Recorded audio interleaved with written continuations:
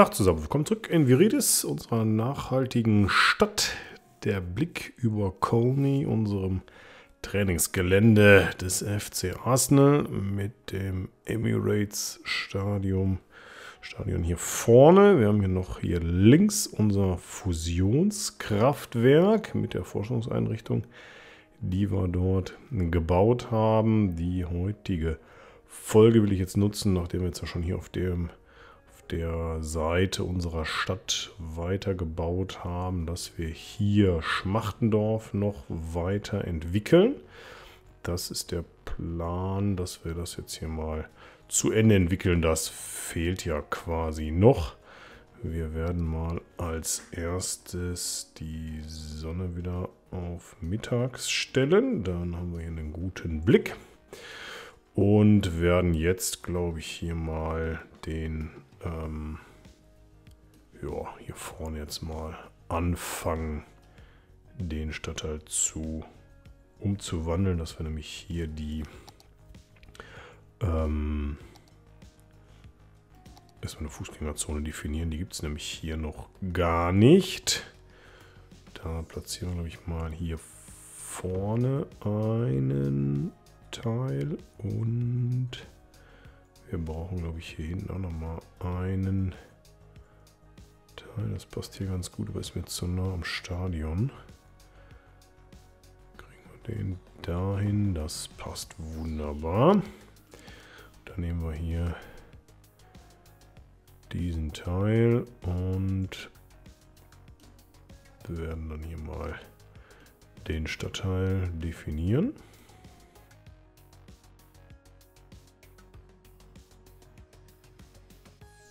Das nennen wir um, oder benennen wir um, das ist jetzt Schmachtendorf. Fußgängerzone.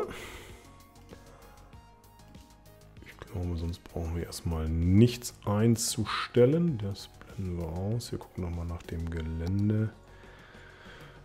Äh, können wir vielleicht auch ein bisschen einebnen hier vorne. Dann haben wir hier ein bisschen mehr Platz. Und dann werden wir gleich als erstes mal unsere Haupt Verkehrsadern definieren, nämlich für die Straßenbahn und den Busverkehr. Wir können das hier mal entfernen. Starten wir mit den Straßenbahnen. Äh, haben wir sie hier vorne. Da können wir vielleicht auch mal gucken, ob wir da so eine breite Straßenbahn hinbekommen. Haben wir hier die das hier, das ist die Straßenbahn. Wahrscheinlich kommen wir hier nicht durch. Ne? Das ist ein bisschen schade. Doch hier geht es. Da reißt ein bisschen was ab. Ah, da ist schon Parkplatz. Hm. Dann gehen wir hier so durch.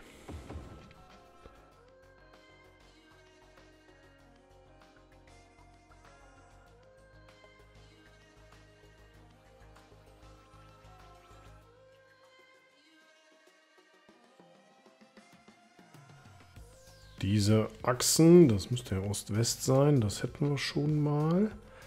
Also das Stadion, das braucht... Wer ist denn jetzt hier nicht an die... Ähm, an das Straßennetz angeschlossen? Also jetzt ganz viele Verkehrsverbindungen, die nicht mehr funktionieren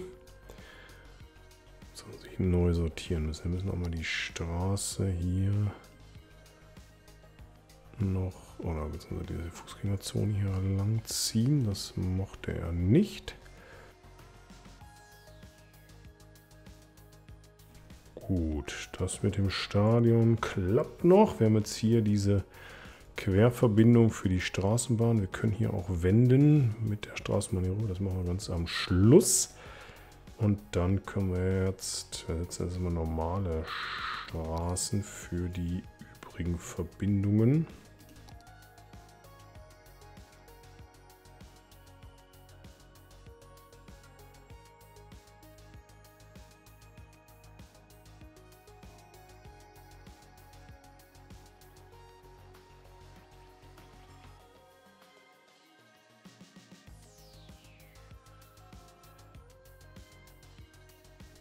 Glaube, jetzt haben wir alle Straßen erwischt. Hier haben wir jetzt noch zwei Objekte, die noch nicht in der Fußgängerzone sind. Das lag aber an der an dem Tor hier zu dem Park Highbury. Das ist aber jetzt nicht so schlimm, diese ganzen äh, Dinge hier mit der mit den Buslinien. Das müssen wir nochmal einmal korrigieren. Die sind natürlich jetzt alle zum Herrn.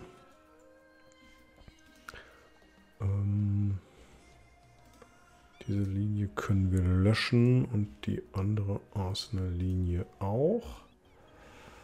Aber sonst noch irgendwas, was mit Arsenal zu tun hat? Buschhausen.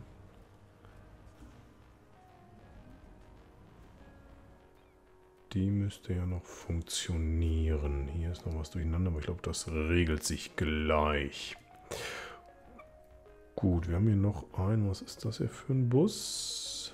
Hustadt. Boah, hier ist ja richtig viel los. Wahnsinn. Da brauchen wir einen anderen Bus. Ähm, nehmen wir mal hier einen Gelenkbus 70 und mehr. 8, 7.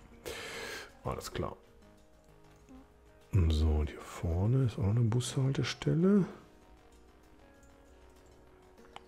Das, na klar, liegt natürlich daran, dass hier eine Linie war. Die finden wir aber gleich noch. Hier vorne ist auch noch eine, aber die müsste sich ja gleich ergeben. Hier können ja Busse fahren, Straßenbahn. Das müssen wir nochmal sortieren.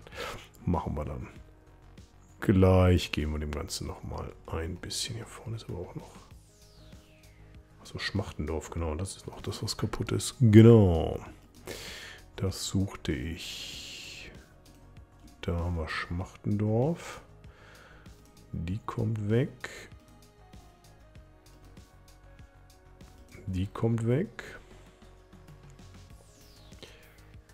So, hier hält jemand.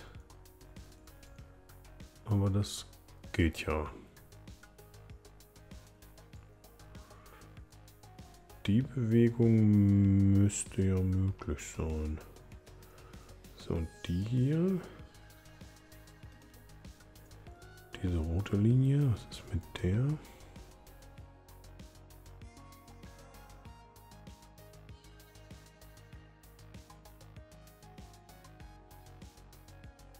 Das Problem hätten wir gelöst. Da vorne die Poststation, die muss an die Straße. Das Spiel kennen wir schon.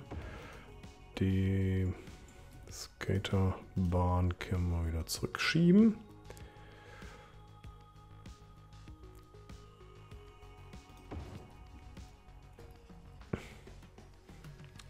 Jetzt gehen direkt mal eine Bank, wo wir gerade hier aktiv sind.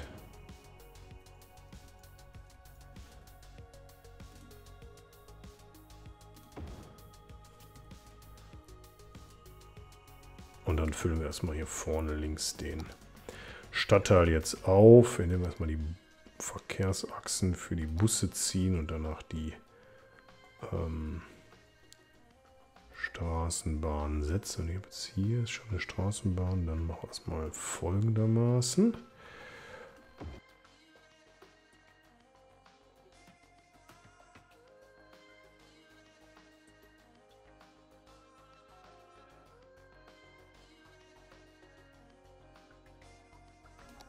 Das sind die Busverbindungen. Jetzt setzen wir hier nochmal ein paar schöne Straßen äh, quer dazu und können das dann direkt gleich auffüllen.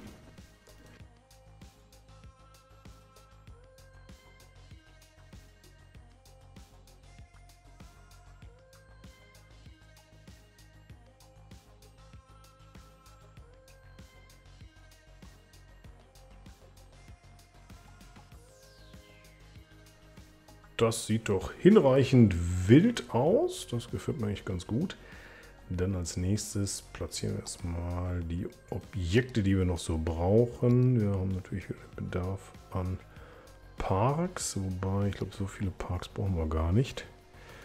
Denn äh, wir haben schon einiges platziert. Äh, wir können, was haben wir hier noch? Nochmal so ein paar Picknickplätze. Hier gibt es auch noch ein paar von diesen neuen Parks. Das ist, glaube ich, auch ganz hübsch.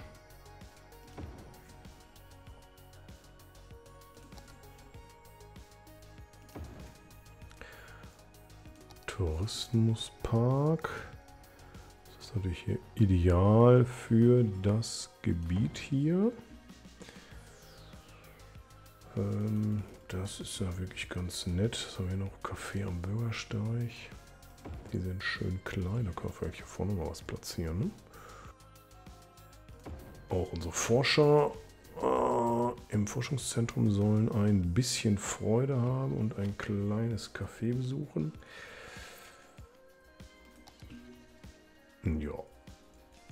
Ich glaube, dass das reicht auch schon auch noch ein paar Bildungseinrichtungen. Ich möchte vielleicht vorher noch mal, mal gucken hier. Also der normale Schmachtendorf. Das ist es nämlich noch nicht. Das müssen wir ja nochmal erweitern.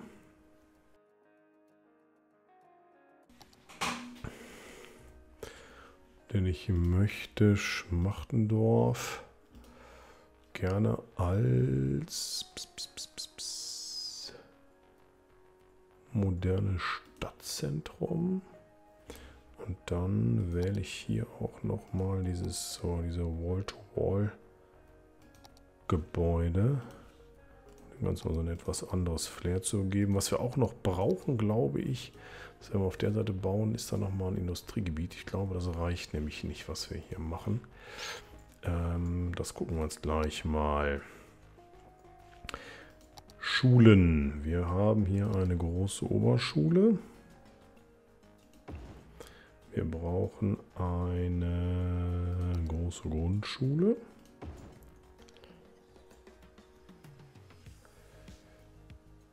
Universität brauchen wir, denke ich, nicht. Wir brauchen noch eine Arztpraxis. Die alten Menschen wollen wir nicht vergessen. Die können wir wahrscheinlich hier ganz gut hier vorne platzieren. Äh, Kinderkrankenhaus finde ich ganz sinnvoll hier in der Ecke. Die Krematorien, das Thema kennen wir schon. Das brauchen wir auf jeden Fall. Nur ein bisschen verstecken, damit das hier nicht ganz so prominent erscheint. Aber ganz verhindern können wir es wahrscheinlich nicht. Diese Hubschrauber-Depots brauchen wir nicht. Eine Sauna können wir vielleicht hier vorne noch platzieren. Erhöht ja auch nochmal den Gesundheitsstatus. Ja, haben wir sonst noch irgendwas? Ich glaube, dieser Objektiv medizinisches Labor, Konservatorium. Das interessiert uns an dieser Stelle nicht. So, Banken haben wir. Wir brauchen noch Feuerwehr und Polizei. Ähm, Da platzieren wir jeweils zwei davon. Polizeiwache haben wir da oben schon. Dann reicht wahrscheinlich hier eine und dann hier nochmal auf der Verbindungsstraße eine. Sehr gut. Das so.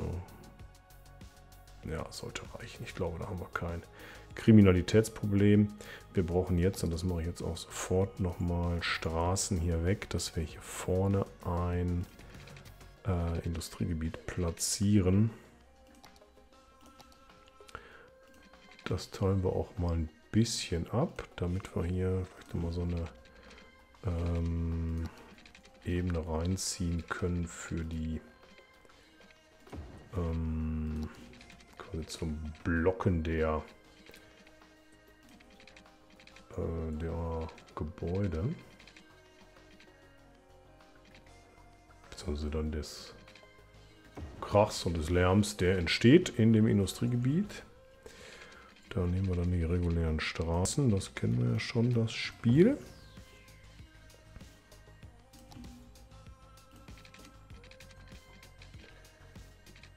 Glaube, ein Güterbahnhof.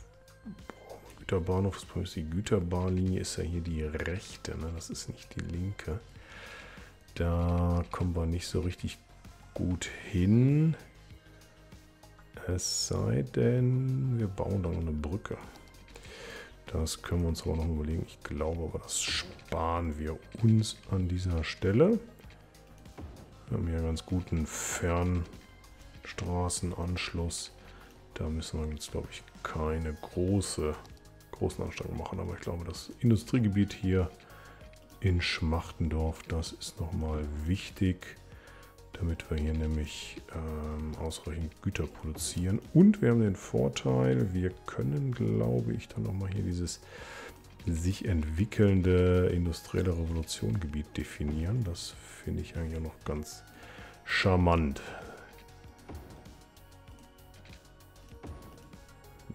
So, das ist gut. Also das hier wird ein reguläres Gebiet.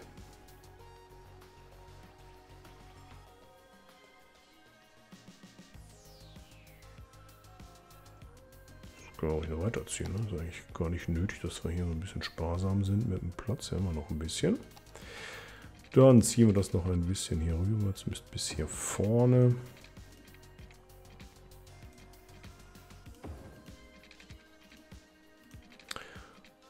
Mit einer dynamischen Straßenführung. Auch das machen wir ja gerne. Ich glaube, das verpasst dem Ganzen so ein bisschen Charme dieses Gebiet, da müssen wir Kalkhecke, wollen wir das nicht nennen, das ist Schmachtendorf Industrie, nennen wir das mal. Industrielle Revolution. Wir werden hier vorne eine Reihe Büros definieren. Und den Rest machen wir voll mit Industrie.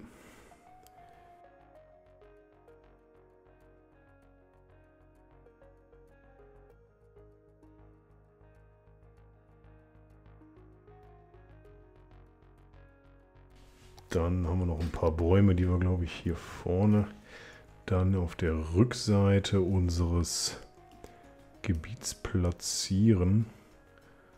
Und dann haben wir es, glaube ich, auch. Sieht das natürlich erstmal komisch aus, weil wir jetzt einsteigen mit ähm, Gebäuden aus der frühindustriellen Phase. Jetzt hier habe ich hier nochmal einen Zaun lang, den finde ich jetzt ganz gut. Naturschutzgebietszaun nicht. Forstwirtschaftszaun vielleicht. Da kommen jetzt dann gleich die Upgrades, aber ähm, wir starten halt mit der ersten Stufe, was ich eigentlich ganz schön finde. Immer eine Sache für ein neues, äh, neue Let's Play-Idee, die ich jetzt eigentlich nicht anstrebe, umsetze, dadurch, dass jetzt ja angekündigt ist, dass äh, City Skylines 2 erscheinen soll. Da ist der Release geplant am äh, glaub, 24. Oktober.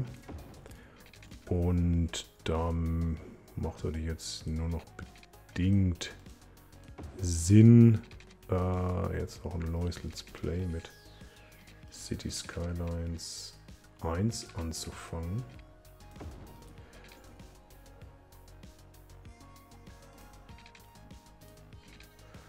Dennoch, äh, das verbinden wir hier nochmal wunderbar. Weitere Bäume noch. ja, also von daher, das, das macht natürlich jetzt nicht mehr ganz so viel Sinn. Ähm, aber das ist ja immer spannend, da nochmal so quasi die Entwicklung, die industrielle Entwicklung nachzubilden. Von der Beginn der industriellen Revolution im 19. Jahrhundert, oder eigentlich angefangen schon im 18. Jahrhundert in Großbritannien und dann im 19. Jahrhundert auf Mitteleuropa und die Vereinigten Staaten übergegangen. Ähm, das Ja, wäre sicherlich mal spannend, quasi das hier zu simulieren. Das müsste wahrscheinlich gehen. Jetzt mit dem neuen Content Creator Pack. Ich weiß gar nicht, ob hier die Bäume jetzt dann alle sterben. Wahrscheinlich, ne? Aber das ist egal, Hauptsache. Wir haben ein paar schöne Bäumchen hier stehen.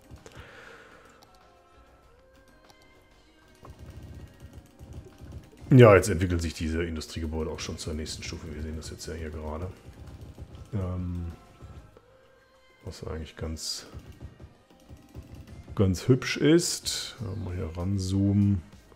Also hier noch diese Backsteinbauten, die wir hier sehen. Mit diesen Wassertanks äh, hier oben. Aber das geht natürlich jetzt durch diese, durch diese Mod, die ich hier installiert habe, relativ schnell, dass sich das weiterentwickelt dann zur, wie sehen das denn hier eigentlich? Äh, Bekleidungs GmbH, dann die Franks Fischstäbchenfabrik. Da haben wir die zweite Stufe. Und dass wir dann danach in einem modernen Industriegebiet leben. Ja. Ein bisschen versteckt vor dem Ganzen. Äh, das Kinderkammer an die Straße. Dann drehen wir dich, wenn du das lieber so hättest. Okay, was ist hier mit dieser Straße los? Das mochte er nicht. Gut, als nächstes setzen wir dann hier nochmal ein paar Fußwege.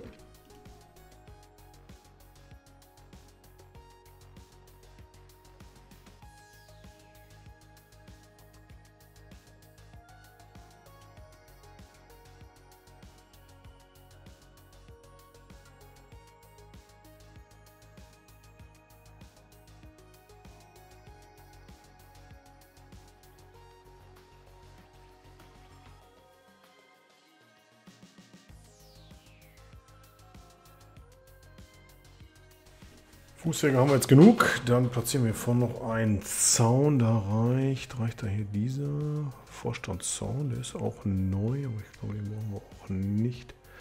Bahnhofzaun hier vorne, damit hier keiner in die, in die Tiefe stürzt. So weit können wir hier nicht. Vielleicht sogar. Das wäre vielleicht sogar noch schwerer, wenn wir hier quasi die Küste bebauen könnten.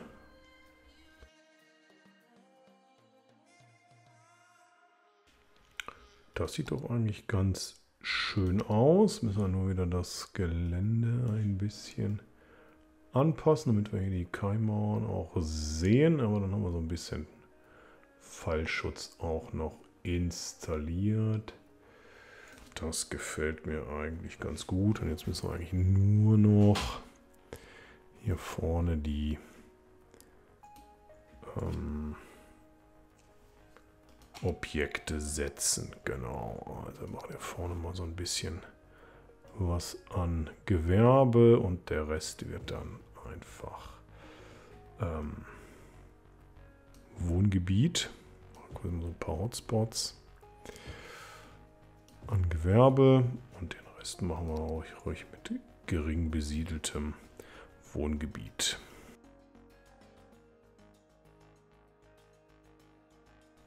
Hier machen wir einen Fußweg quer und einen Fußweg hinten rum.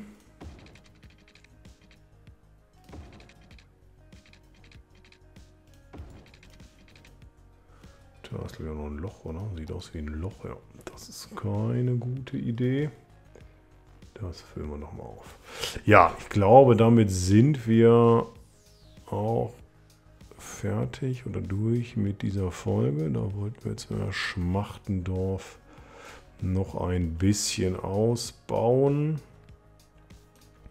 Ich werde jetzt hier noch mal ein paar Bäume platzieren in Schmachtendorf. Da machen wir mal den großen Blick. Und dann gucken wir mal, was hier noch so an Bäumen entsteht.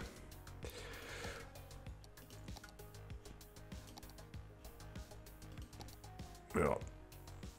So, wir sind dann...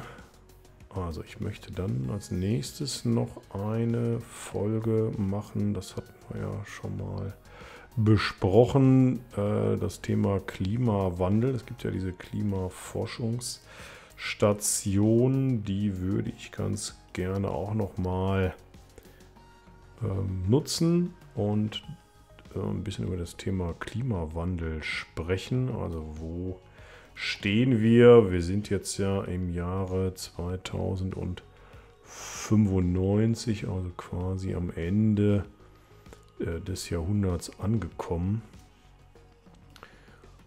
Und ja, da sind wir jetzt quasi an einer, an einer Stelle, wo man dann sagen muss, wie geht es denn eigentlich dem Planeten Erde zu dem Zeitpunkt? Wenn man sich das überlegt und vorstellt, wo wir jetzt heute stehen oder wo die Reise Moment hingeht, muss man sagen, das könnte äh, heikel werden. Denn die Klimaerwärmung schreitet fast ungebremst voran. Ähm, und das ist natürlich ein echtes Problem für den Planeten und für uns. Achso, hier fehlt uns noch ganz wichtig, das hatte ich vergessen, die äh, Versorgung mit ähm, Müllabfuhr, ne? das hatte hier nämlich noch nicht. Da packen wir direkt mal zwei Stück rein. Das haben wir auch hier. Hier vorne brauchen wir es, glaube ich, nicht. Das, denke ich, sollte reichen. Platzieren noch ein paar weitere Bäume hier. Dann haben wir hier einfach ein schönes, rundes Bild am Ende dieser Folge. Dann können wir noch ein bisschen was auffüllen. Ja, wie gesagt, das wäre jetzt noch die nächste Folge. Schmachtendorf haben wir soweit fertig. Oh Gott, jetzt fackelt hier unser ganzes Wohngebiet. Da haben wir keine Feuerwehr. Feuerwehr, Feuerwehr, Feuerwehr. Doch, eigentlich ja. Da ist er auch schon.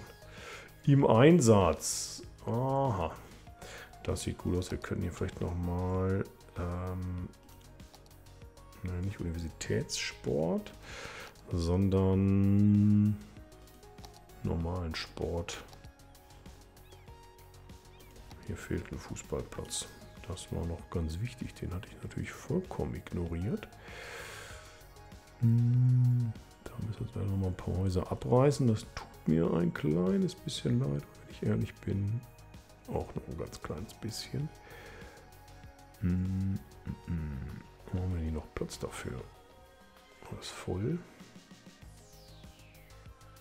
Hier. Hier kommt der Fußballplatz hin. Den müssen wir noch an die Fußwege anschließen. Der hat ja selber Fußwege.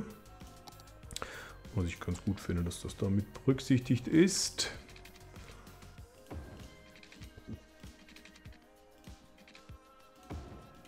Ja, das ist doch prima. Da haben wir mal einen kleinen Fußballplatz in Schmachtendorf. Sehr schön. Ja, das sieht doch ganz hübsch aus hier mit diesen äh, Wand an Wand oder Wall-to-Wall-Buildings. Was wir jetzt noch nicht gemacht haben, das wäre jetzt noch der nächste Schritt, wäre jetzt die, den Nahverkehr. Das möchte ich jetzt an dieser Stelle aber auch in dieser Folge nicht mehr machen. Denn tatsächlich ähm, mit dem Blick, und ich wechsle mal hier auf diese Kameraansicht, mit dem brennenden Stadtteil hier unten. Ähm, das war jetzt ja Folge 99. Und ich möchte jetzt eigentlich die, dieses Let's Play auch abschließen, indem wir da jetzt dann noch die ähm, Klimaforschungseinrichtung platzieren. Das werden wir dann hier oben machen an unserem Pumpspeicherkraftwerk. Dass wir hier oben nochmal ähm, in die Nähe ein Klimaforschungszentrum platzieren noch ein bisschen über den Klimawandel sprechen und dann nochmal so ein bisschen Resümee ziehen. Ähm, hiervon kann ich die Leitung nochmal wegreißen. Sind ein bisschen unnötig, sehr unnötig geworden. Das geht jetzt ja ohne. Korrigieren wir direkt mal hier noch ein paar Kleinigkeiten. Das für das Let's Play, nachdem wir es ja nur noch kleine Pause gemacht haben, dann ähm, beenden. Die, ich denke, die Geschichte soweit ist dann erzählt von Viridis. Wir haben gesehen, das funktioniert alles. Das Resümee ziehen wir dann aber noch gemeinsam in der letzten Folge. Mit dem Blick hier über unser Stahlwerk. Da können wir noch mal bauen. Aber es ist, die Stadt ist ja nie fertig. Ne? Das ist ja das Schöne. Wir könnten jetzt hier noch viel mehr Folgen machen. Die brennt auch schon wieder hier. Aber den Eifelpark werden wir dann noch mal blicken. Das machen wir dann in der nächsten Folge ausführlich. Ziehen nochmal ein Resümee, was wir geschafft haben, inwiefern City Skylines die Möglichkeit bietet, eine nachhaltige Stadt zu bauen mit den regenerativen Energiesystemen, die wir hier haben, mit dem Umweltcampus hier vorne. Und dann werden wir dieses Let's Play-Projekt an dieser Stelle, glaube ich, mit der Folge 100 ganz passend beenden. Dann bedanke ich mich erstmal fürs Zuschauen dieser Folge und wir sehen uns beim nächsten Mal. Bis dahin.